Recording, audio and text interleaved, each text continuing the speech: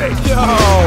Hard work beats talent if talent doesn't work hard. Must be a lot of busy beats or artists on their knees. You see marketing that way so quick to pick you up when you hot, quick at the jockey when you call her, In their offices they're rambling and gabbling, scrambling for some paperwork and a pay. Some A&Rs can't remember who they signed last night, but tomorrow they're gonna sign them again and again and again and make them on they supply the top ten. Follow a pop trend and dress like every other artist